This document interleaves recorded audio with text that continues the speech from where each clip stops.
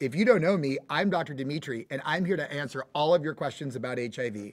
I've been doing HIV medicine since the 90s, and it has been remarkable to see the advances that we have to treat and prevent HIV. I remember people had to take pills three times a day with food, without food, with water.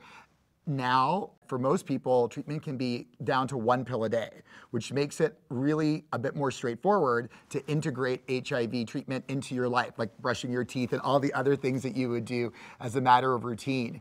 Um, also in treatment, there are injectables, which means there's options open to many people to be able to get an injection once every couple of months. And that means that you have enough medicine to make sure that your virus is under control. Make it a part of your life. Self care.